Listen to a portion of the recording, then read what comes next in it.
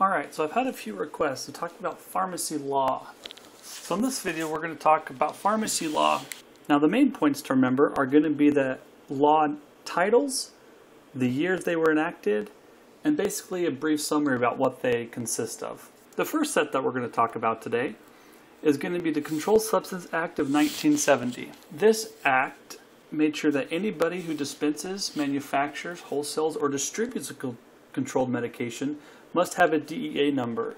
And if you want to learn more about the DEA number, I have a DEA calculation video in the other videos. Another law is the Pure Federal Food and Drug Act of 1906. It's also known as the Wiley Act. This act made sure that the manufacturers wouldn't make claims for cures that wouldn't work.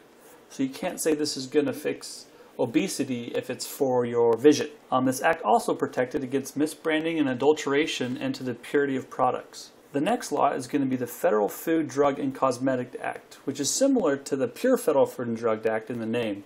This act made it sure that manufacturers prove what was in their product and provide scientific evidence to its claims. Cosmetic and therapeutic drugs were now regulated. So because of the Federal Food, Drug, and Cosmetic Act, this is when drugs had to start going through a process to make sure that they work. The next set of laws is going to be the Kefauver-Harris Amendment of 1962. There was a drug called thalidomide that was found to cause birth defects in babies. This drug was initially in the European area. Um, it was under investigation in America or in the United States, and so we never used it as a drug. But this law required signed patient consent forms for new investigational drugs. So you hear on the radio sometimes where, hey, you know, sign up for this drug, you'll get paid for your time, and, and it could help so and so. So because of this act, proof of drug effect was managed.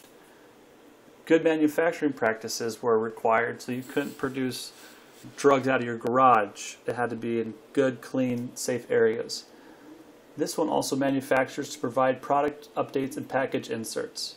And this also gave the FDA more power over clinical investigations.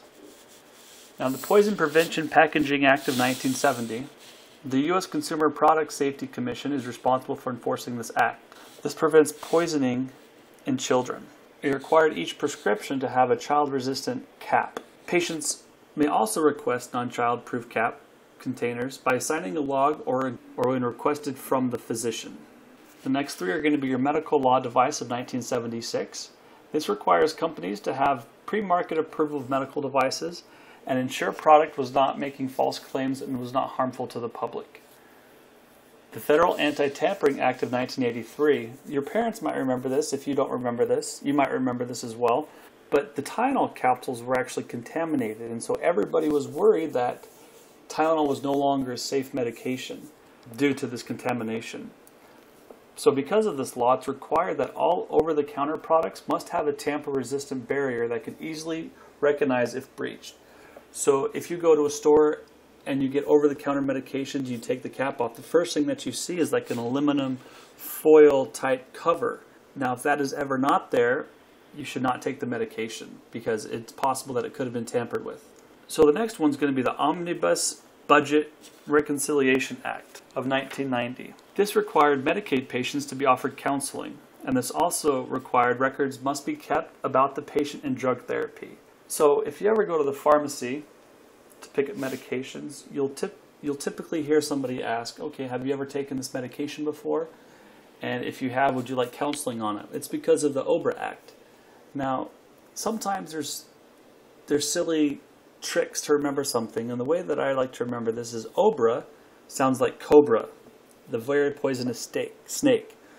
If you get bit by a cobra, you have to call, or you should call the poison hotline and they'll give you counseling. So that's just one of the silly tricks that I like to use to remember the what the OBRA Act is actually used for. Now the last one is going to be the Dietary Supplement Health and Education Act of 1994.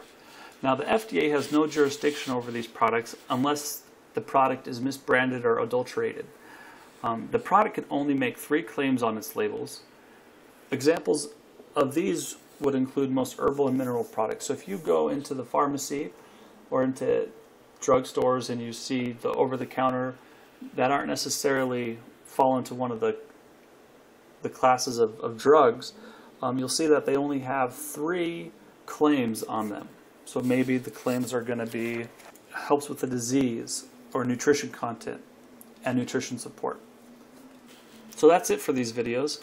Other things to review um, in the other videos that I've talked that I have recorded is going to be the drug recalls, the NDC, and the MSDS sheet. Make sure to click like if you enjoy this video and subscribe so you can get future updates on the pharmacy technician exam. Thank you very much.